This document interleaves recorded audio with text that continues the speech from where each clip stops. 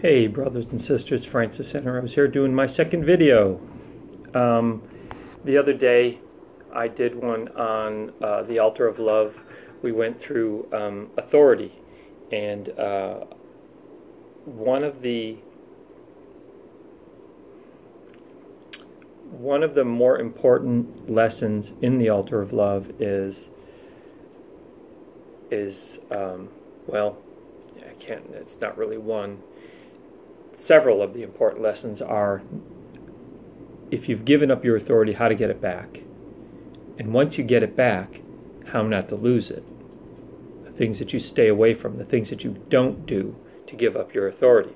So we talked about that. You know, one of the one of the one, the first way that you give up your authority is by doing nothing. If you do nothing in a situation, if you do not assume authority over it, you give up your authority. You got a demon standing next to you doing this. He's going, okay, what are you going to do? You're the boss here. You're going to assume authority or not? Because if you're not, I will. Let's go. All right? So you're a child of God. You have to assume authority in everything. No matter what it is, you, you assume authority. Um, you know, when. Uh,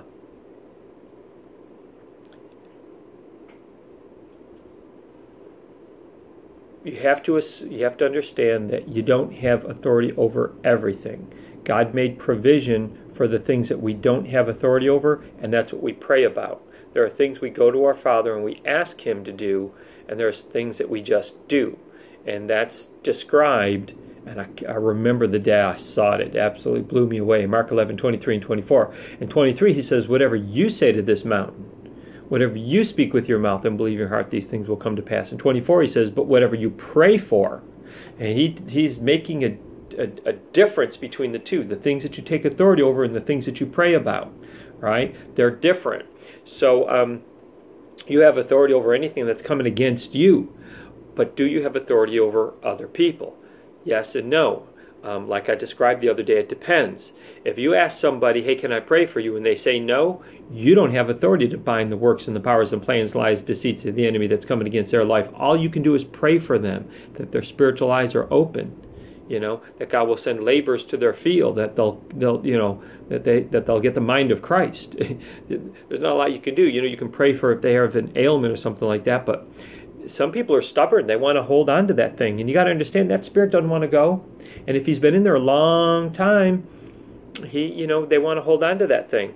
And one thing that I that I realized when I was doing a lot of these cases was the things that people like to hold on to are called witchcraft of the heart. These are their personality traits but they're not their personality traits. These are the personality traits of demonic spirits that have been there for a long time and have taken over their personality.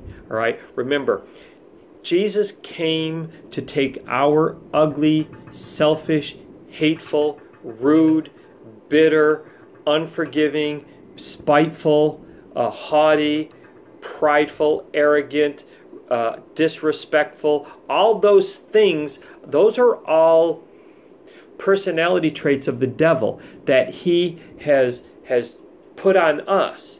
And after decades of being in his world, we've taken on those personality traits. All right. But one thing that Jesus did on the cross was the one thing that God showed me was in our identity was He took that from us so that we don't have to be like that anymore. We can be like Jesus now.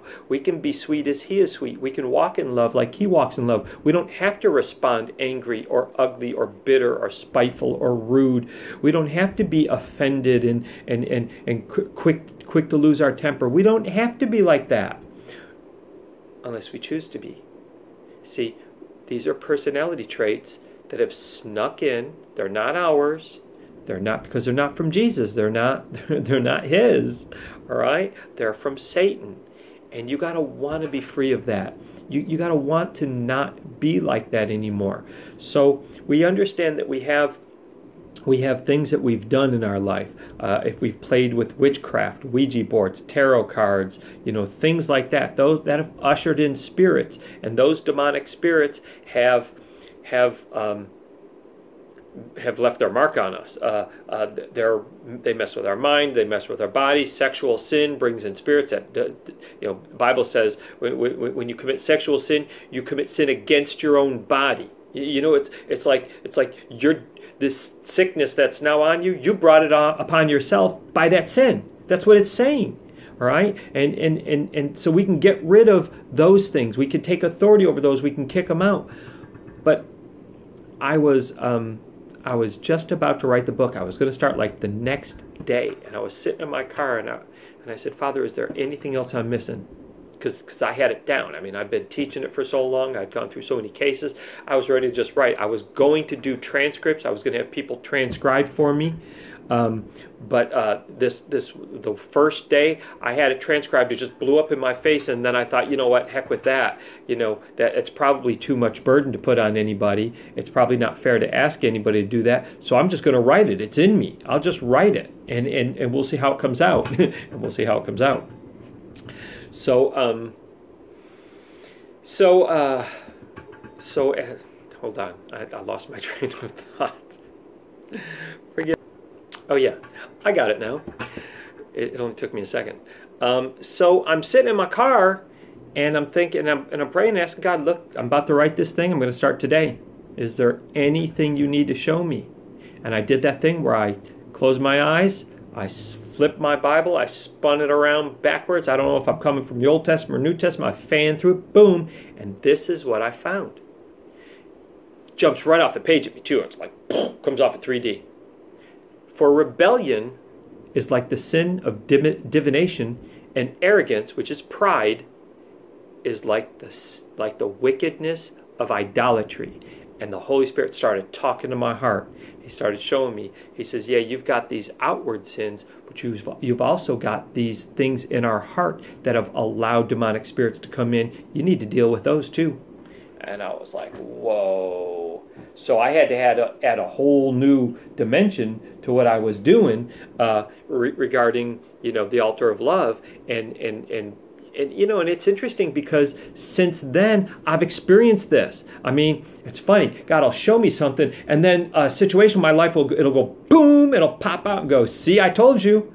And then boom it'll pop out again and go see i told you which you know i mean kind of stinks. But for me it's good because I'm doing research. You know, it's like I'm doing research for God, and then He's just giving me examples and proving what He's teaching me by letting it play out in real life so I can experience it. And I got to tell you, I don't like it, but it is what it is. All right? Uh, so it says, for rebellion is, and this is 1 Samuel 15.23, for rebellion is like the sin of divination. All right. We know divination is witchcraft. All right. And I know from the altar of love that when you're dealing with the sin of witchcraft, you're opening the door to those spirits. So rebellion, just the act of rebellion, is an open door to a demonic spirit. And arrogance or pride is an open door to a demonic spirit. And I've seen it. I've seen it firsthand. I, I, I watched it play out, and it's just, wow, it's just crazy. It's just crazy. So the Holy Spirit began showing me uh, other types of behavior that are, that are also forms of witchcraft uh, and, and a conduit. It's like a conduit for these demonic spirits. You know, and if these spirits are left unchecked, uh, this behavior will get, it'll give up your authority, is what it does. Once that thing enters in, because you behave that way, you hand over your authority and it has the legal right to enter. All right. Um, actually, actually, the way I saw it was it doesn't enter right away it it's got these talons and it latches on.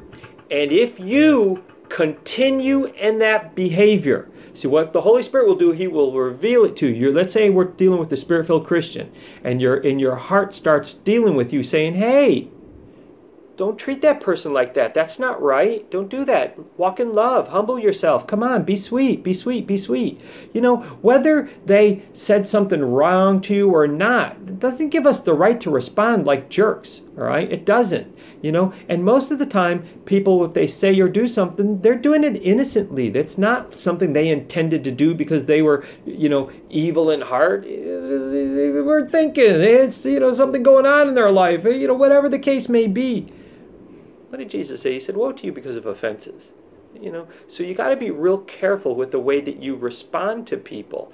And see, if you don't, if you will not hearken unto the prompting of the Holy Spirit that tries to drag you out of your initial reaction, because we're human, we're human. We're gonna sometimes we react badly. You know, somebody pulls out in front of you and you you you yell at them, but you should get an instant rebuke from the Lord that says, "Hey, don't do that. That was that wasn't right." They, they, you know they were they didn't see you or you know whatever whatever the case may be and you need to repent immediately let's listen the whole thing about the altar of love is repent repent repent repent repent repent be quick to repent do not harden your heart. How many times did Paul write, Don't harden your heart as they did in the rebellion? Otherwise, all the things that those people, that the, that the Jews had to deal with in, de- in the desert, you're going to deal with. All right? You keep going around that mountain and around that mountain and around that mountain until you learn to walk in love. all right. So Romans 13, 12 and 13 says this. All right. Well, before we get there, it says, uh, so this uh, behavior, if it's left unchecked, all right, if you don't address it, if you don't repent for this ugly, like uh, rebellion, arrogance, probably we're going to go to a whole list of stuff. If you don't repent for it, if you don't, you know, make it right, then that thing has the legal right to enter you. Then you've given up your authority. So it's not like when it happens right away. No. It's do you harden your heart to the prompting of the Holy Spirit and continue in that behavior? That's when you got a problem. So it says, um, all these behaviors come out of our heart. And these are the things that we have probably not properly addressed after we got saved.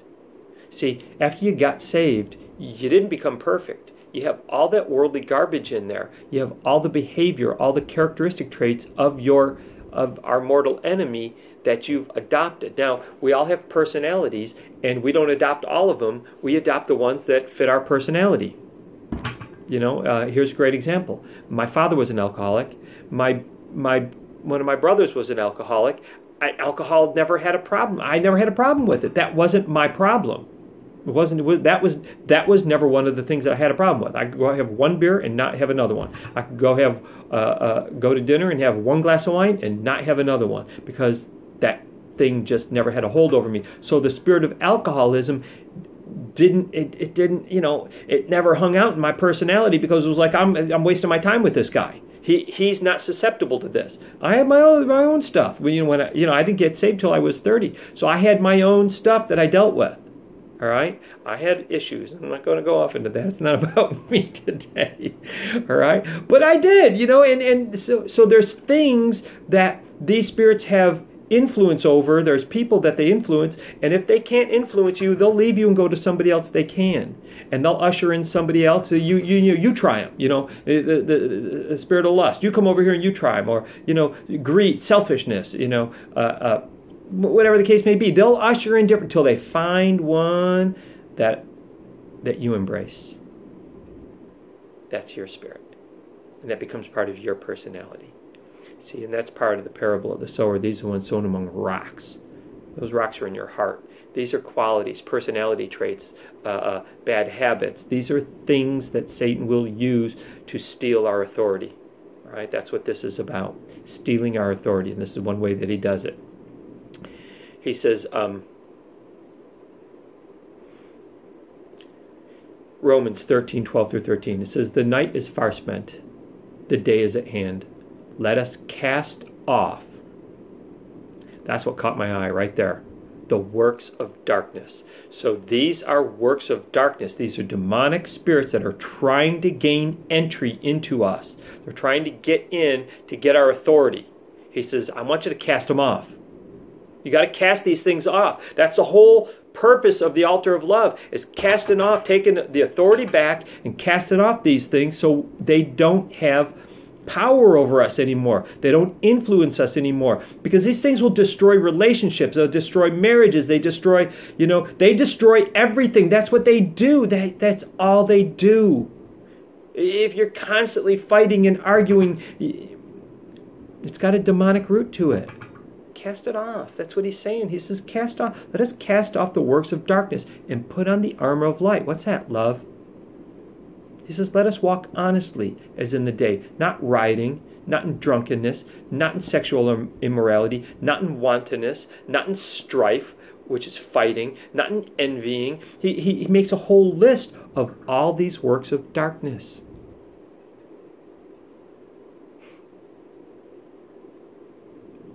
Man, when I started seeing this, I was like, it opened up a whole new vein that I hadn't even been addressing. Our personalities, our behavior. So the following is a list that as I went through the scripture, I started pulling them out. This is behaviors that are as witchcraft of the heart, as the Bible says. All right? In the word, they're sometimes referred to as the works of darkness, works of the flesh. But like all behavior, good and bad, they begin in and come out of our heart. So, number one was rebellion and disobedience. Rebellious, to have a rebellious spirit is, is witchcraft. It's witchcraft of the heart. That's what the word says. That's not what I say. What rebellion and disobedience is witchcraft. Number two, manipulation, seduction, and intimidation. Those are also forms of witchcraft of the heart. Manipulating people is trying to get people to do things your way through forms of intimidation or you know seduction can be one. You, you know uh, uh, uh, men try and seduce women to get them to sleep with them and then they'll never call them again. Women will seduce men to get them to do what they want to do. These are all forms of witchcraft. They're witchcraft y'all. Witchcraft all right and, and i'm not talking about a wife that's that's trying to um, uh, y'all, I'm not even going to go there. Y'all know. y'all know. I'm not even going to go there. All right. Arrogance, pride, and indignance. Satan was prideful. And what does it say up here? Right here. In Romans 13 12. He says, Oh, no, it wasn't that. It was. It was in 1 Samuel for rebellion is like the sin of divination, and arrogance is like the wickedness of idolatry. So, arrogance and pride is a very powerful spirit that will, it'll, you know, it'll steal your authority. Let me tell you something, and I can't stress this enough. If you are a believer and you understand identity and you understand authority, you can't afford to give it up.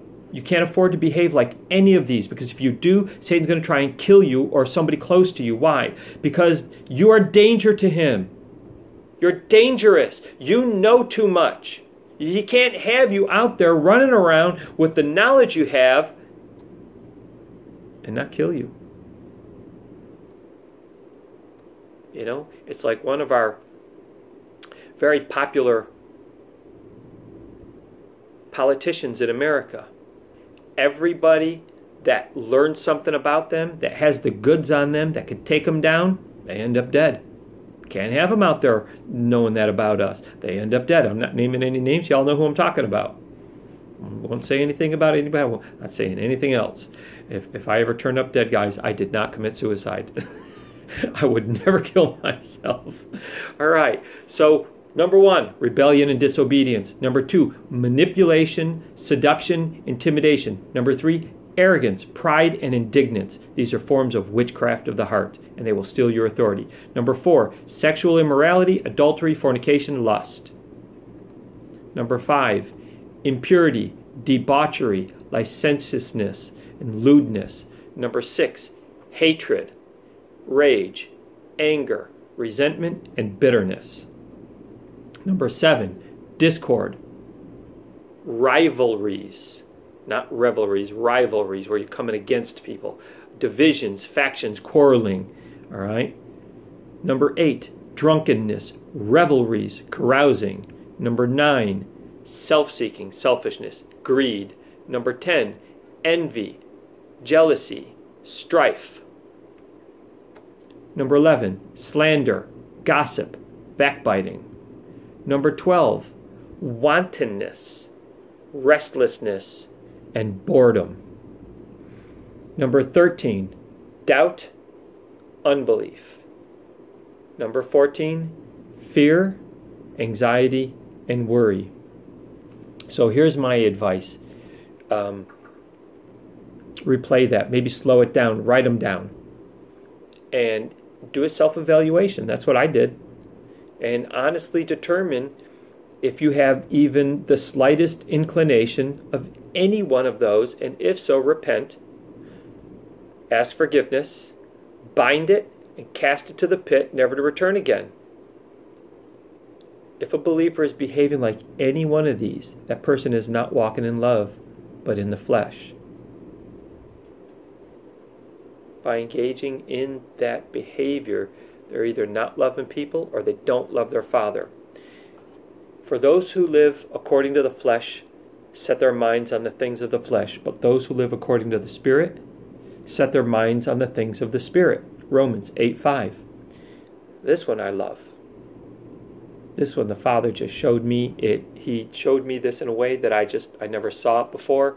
He says, "Do not love the world or the things in the world. If anyone loves the world, the love of the Father is not in him." So this verse is not saying that the Father doesn't love you. It's not what it says at all. And most people read it like that. The word for love here is agape, and it means to prefer. I've talked about this before. I'm going to go into it again because it kind of dovetails from what we were just talking about. The verse actually reads like this Do not prefer the world or the things in the world. If anyone prefers the world, they don't prefer the Father. By loving the world and all its lustful pleasures, we show our allegiance. Who we loyal to, the world or the Father by our preference, by our behavior, our loyalty is established.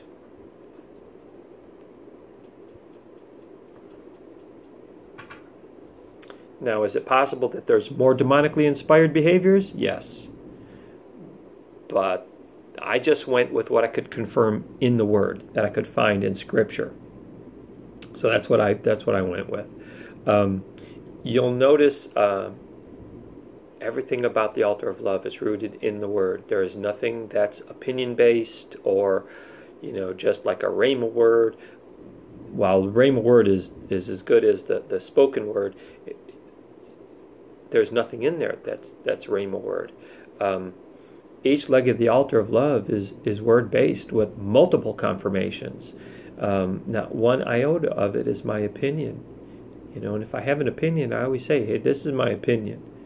Um, so there are there are two forms of word. There's the logos and the rhema. The logos is the written word, and the rhema word is that which God has spoken to you directly. So if you get a word from God, if God drops a word in your spirit, you're hearing it over and over and over again, or you hear it loud and clear. That's called a rhema word, and the Bible says that one isn't more weighty than the other. One isn't more valuable than the other. They're both valuable to you. And, you know, I venture to say that the, the people that get a Rhema word, that's going to be pretty valuable because that's God speaking a word right into you. So if you don't value that thing, you're telling God, hey, you know, thanks, but no thanks. All right, says the acts of the flesh are obvious. This is in Galatians 5:20. Sexual immorality, impurity, debauchery, idolatry, and sorcery, hatred, discord, jealousy, rage, rivalries, divisions, factions, envy, drunkenness, and carousing. These are works of the flesh. These are works of the flesh. These are demonic spirits manifesting themselves through your personality. That's all they are. So if you're behaving like this, you need to take authority over, over these things and get rid of them. All right? It says in um, Romans 2 8, it says, But for those who are self seeking and who reject the truth and follow wickedness, there will be wrath and anger. So, where there's wrath and anger and short temperedness, what is he saying? You're following wickedness. You're rejecting truth and following wickedness. Why? You're not walking in love. I mean, just love. Just walk in love. Look, life's short. I mean, literally, we could be looking at days here, guys. Life is short. We shouldn't be getting mad about anything. And to get mad about anything is stupid. It's stupid. It's stupid. I don't even know. There isn't even a, a, a, a, better way to put it. It's stupid. How are you going to. How are you going to let anything get you upset now? Where we are in time, where, where, where we are in this place. Come on. Come on.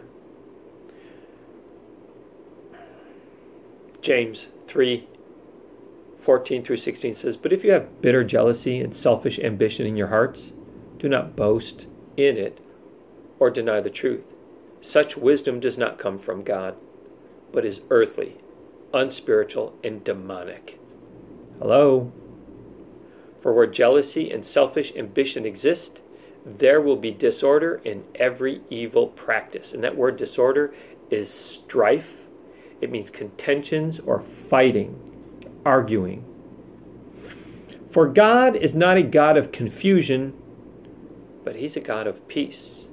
So where there's envy, where there's strife, where there's confusion, it's not from God. If it's not from God, where does it come from? Satan. Look, there's only two things in this world. This is not the Star Trek Enterprise. There isn't a neutral zone where everything either comes from God or comes from Satan.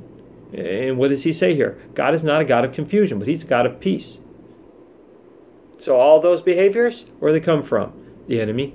So if we're behaving like that, who are we behaving like? The enemy. But Jesus came for identity. That's where identity comes in, guys. See, if you're behaving like this, it's because you don't understand identity in the altar of love. The first leg of the altar is identity.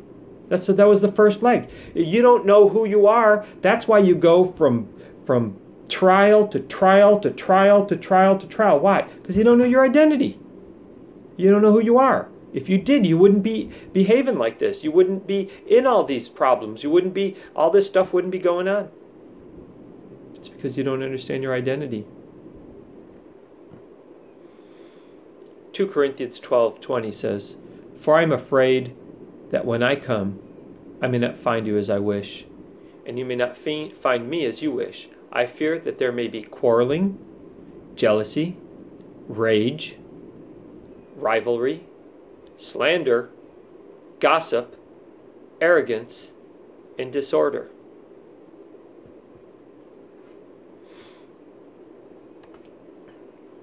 James says in uh, 158 If any of you lack wisdom, he should ask God, who gives generously to all without finding fault, and it will be given to him. But he must ask in faith without doubting. Because he who doubts is like a wave of the sea blown and tossed by the wind that man should not expect to receive anything from God. He is double minded and unstable in all his ways. So,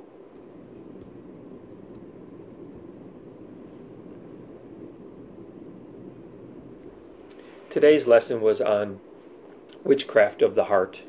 And uh, I'm going to read the list again. And like I said, what I did was I just went through my life, I went through my heart. I just you know, because you got to go through your life.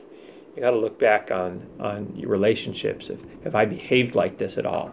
You know, have I been rebellious? Have I been disobedient? That's number one. Number two, manipulation. Do I manipulate people? Or do I try and seduce people uh, to get what I want? Do I do I try and intimidate people to, to you know to get my way? Um, number three is arrogance, pride, and indignance. Uh, am I arrogant? Am I haughty? Am I prideful? You know, am I indignant? Like I don't, I don't care. I don't care. I don't care. I don't care. You have that attitude, it's demonic. Obviously, sexual immorality, adultery, fornication, lust. Obviously, impurity. debauchery, licentiousness, lewdness.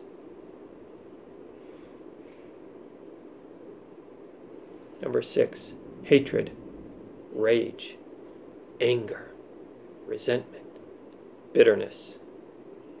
Number seven, discord, rivalries, divisions, factions, quarrelings.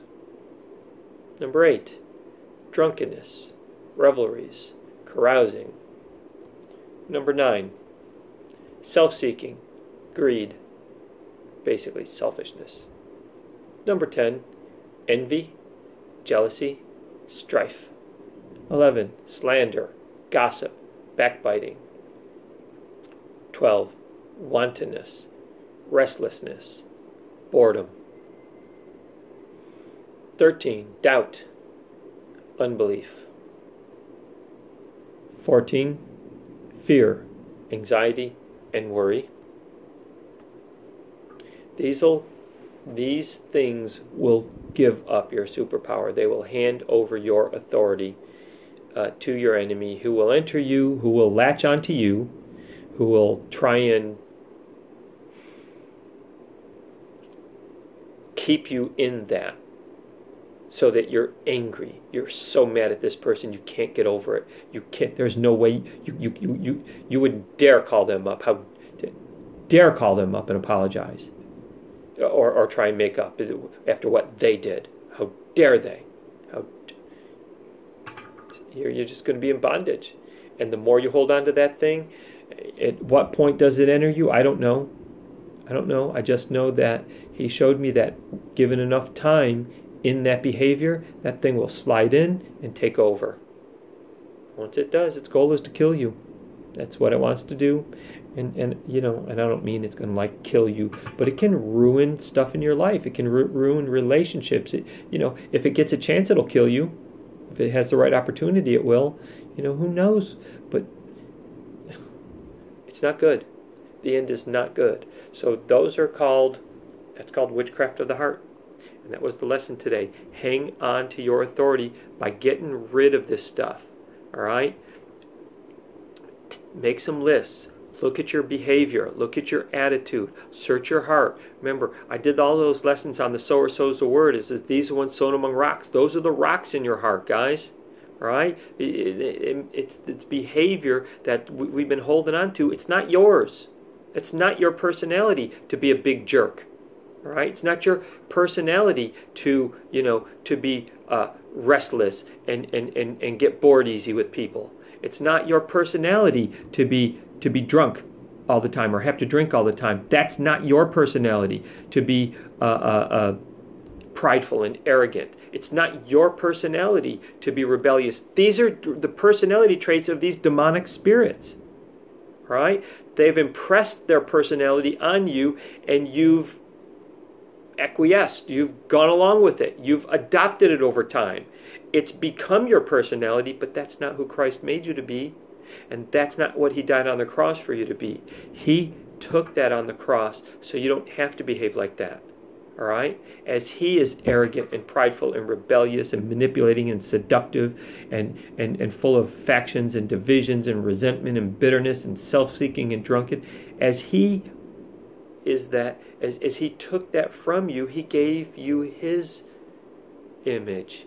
So you could be sweet and gentle and kind and forgiving and loving and, and tenderhearted and, and you know, easy to get along with and righteous and, and, and you know, he took it on the cross so that you didn't have to behave like that. And that was the lesson today. We'll talk to y'all later. Bye.